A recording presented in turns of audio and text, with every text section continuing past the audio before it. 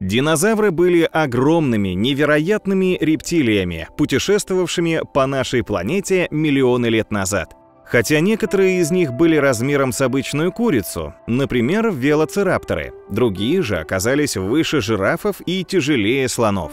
К моменту, как астероид уничтожил динозавров, некоторые из них достигали поразительных размеров в 40 метров длиной и весили около 70 тонн. Сегодня вы узнаете о самых больших динозаврах, когда-либо населявших нашу планету. Спинозавр – самый большой хищный динозавр. Начнем наш список с самого большого хищного динозавра. И если вы думаете, что это тиранозавр Рекс, то вы ошибаетесь. Да, Тирекс – популярный динозавр и некоторое время считался самым большим плотоядным динозавром. Но сегодня титул самого большого хищного динозавра носит спинозавр. Этот ужасающий гигант был самым большим, самым длинным и самым тяжелым плотоядным существом из когда-либо ходивших по Земле.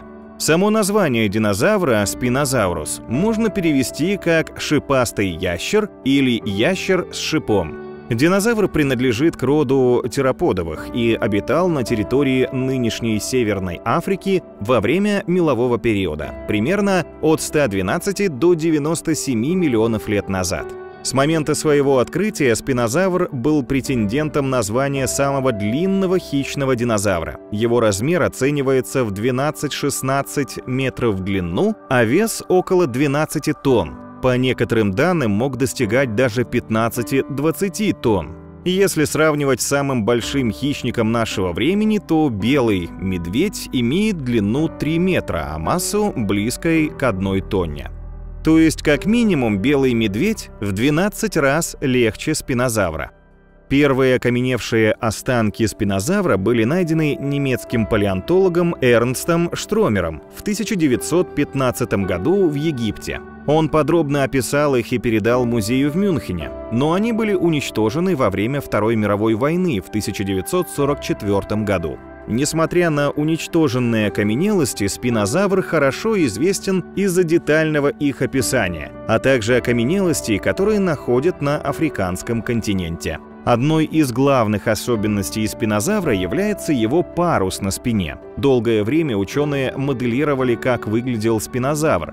Из-за нехватки материала первоначально модели были очень похожими на Тирекса. Но в 2014 году международная группа палеонтологов нашла части черепа, скелета и фаланги пальцев динозавра. По новым данным реконструкции, научная общественность склонна считать, что спинозавр передвигался на четырех лапах и много времени находился в воде. В популярной культуре спинозавра вы могли видеть в фильме «Парк юрского периода», где в третьей части саги о динозаврах спинозавр побеждает в поединке Тирекса. Кецалькаатль – самый большой летающий динозавр – Следующим в нашем рейтинге будет самое большое летающее животное всех времен. И это Кецалькаатль. Свое название динозавр получил от ацтецкого бога, который выглядел как змей с перьями. Сам же летающий динозавр существовал в промежутке между 68 и 65,5 миллионов лет назад. Этот летающий великан был в высоту около 5 метров. Примерно такую высоту имеют самые высокие жирафы. Представьте себе летающий хищник с размером с жирафа. Бррр, страшно аж становится. Размах крыльев этого динозавра оценивается в 10-12 метров, по некоторым данным могут достигать 15 метров. Взрослый кецалькаатль весил около 200-250 килограммов. Напоминаем, что самая большая летающая птица сейчас — это альбатрос, размах крыльев которого составляет около 3 метров, а вес всего до 15 килограммов. А страус, хоть и весит до 150, все равно как минимум в два раза ниже Кецалькаатля. Первые окаменелости Кецалкаатля были обнаружены в Техасе, США в 1971 году американцем Дугласом Лоусоном.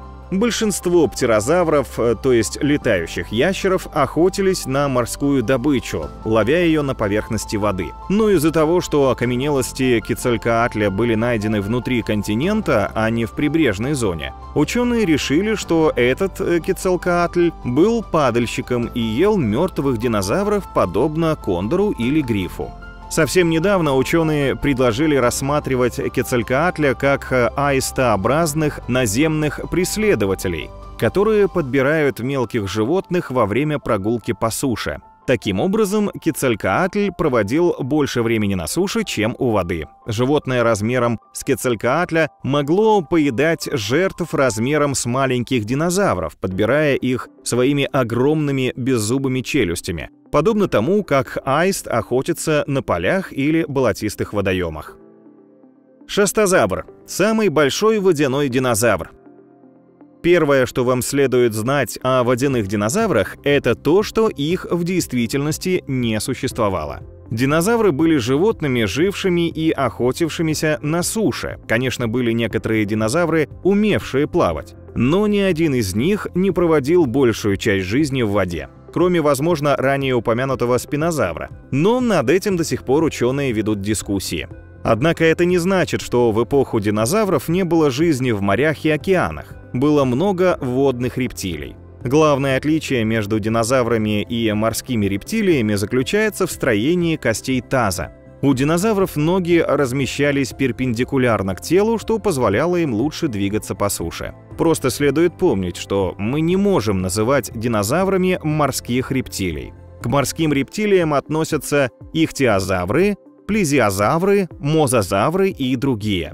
Итак, самой большой водной рептилией во времена динозавров был шастозавр принадлежавший к роду ихтиозавров. Шастозавр получил свое название от горы Шаста, которая находится в Калифорнии. Там в 1920 году были найдены первые окаменевшие останки этого существа.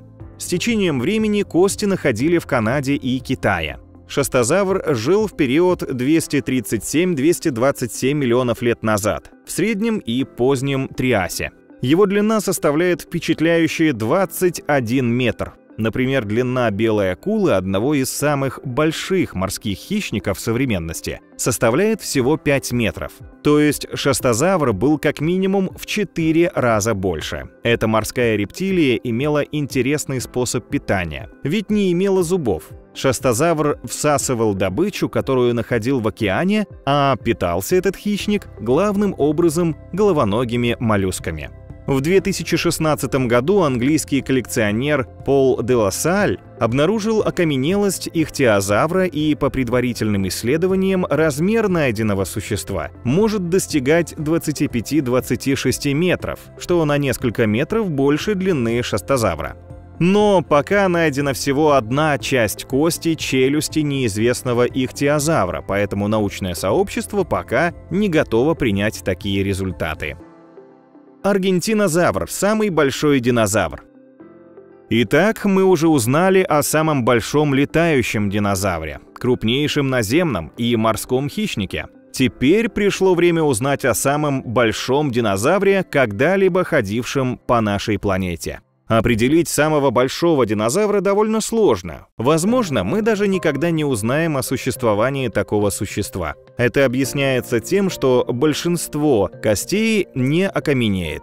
Часть останется в земле и никогда не будет найдена или просто будет уничтожена из-за деятельности человека. Кроме того, даже сейчас ученые находят лишь части костей динозавров, и уже на основе сравнительного анализа, математических данных и моделирования пытаются воспроизвести их размеры и вес. Различные методы оценки иногда дают противоречивые результаты, поэтому однозначно назвать крупнейшего динозавра довольно сложно.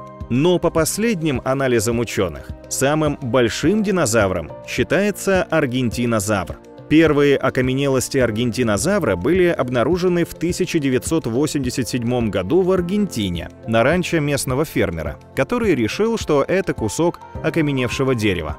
В 1989 году под руководством аргентинского палеонтолога Хосе Бонапарте начались научные раскопки. Таким образом, группой местных палеонтологов было найдено несколько задних позвонков, часть крестцовой кости и бедренная кость. Аргентинские палеонтологи Хосе Бонапарте и Родольфо Кориа опубликовали научную статью о новом динозавре в 1993 году и дали ему название «Аргентинозавр» динозавр, что означает «аргентинский ящер». Кстати, примерно в 1993 году вышла первая часть фильма «Парк юрского периода». Из-за малого количества костей ученые до сих пор спорят о размерах аргентинозавра. По разным методикам его длина может достигать от 27 до 40 метров. Последние критические сравнения 2019 года, проведенные американским исследователем Грегори Полом, указывают на длину в 35 метров. Эта длина равна 6 взрослым слонам или длине целого самолета Boeing 737. Масса аргентинозавра также постоянно подвергалась новым критическим оценкам. В 1994 году Грегори Пол оценил массу аргентинозавра в 100 тонн, но через два десятилетия просмотрел свои результаты и считает, что динозавр весил 65-75 тонн. В 2020 году канадские ученые Кампионы и Эванс в независимом исследовании подтвердили результаты пола. По их данным, вес аргентинозавра составляет 75 тонн. Это примерно вес 13 слонов или двух самолетов Boeing 737. За звание крупнейшего динозавра также соревнуются и другие завроподы. Например, по некоторым данным, Патага Титан, который был найден в 2014 году и описан в 2017, может быть на несколько метров длиннее, но легче аргентинозавра. Кроме этого, существует еще несколько небольших костей окаменелостей, которые позволяют предположить о существовании динозавров еще больших размеров. Интересный случай произошел с мароапунизавром, который ранее назывался амфицелей. Иногда он оценивается как самый большой динозавр. Этот вид был описан в далеком 1788 году американским зоологом Эдвардом Коупом. Всего была найдена одна окаменелость части позвонка динозавра, которая имела длину полтора метра. По исследованиям полный позвонок мог иметь длину 2,7 метра. Со временем эта кость была утеряна, уничтожена или просто раскрошилась. Остались только рисунки кости, описанные Эдвардом Коупом. Ученые разделились на два лагеря. Одни верят в исследование и существование кости мараапунизавра, другие считают это фикцией. Но если бы мараапунизавр существовал, он был бы величайшим динозавром на планете. По рисункам и заметкам Коупа современные модели ученых утверждают, что марапунизавр имел длину 58 метров и вес 150 тонн. По этим показателям марапунизавр мог сравниться или даже превзойти крупнейшее животное за всю историю Земли – синего кита. Хотя стоит отметить, что отсутствие костей, точной документации и качественных измерений делает несправедливым назвать это существо самым большим в истории. Только что вы узнали о самых больших динозаврах, которые существовали на нашей планете. Как считаете, смогут ли ученые найти еще больших доисторических существ? До новых встреч на канале Фактограф.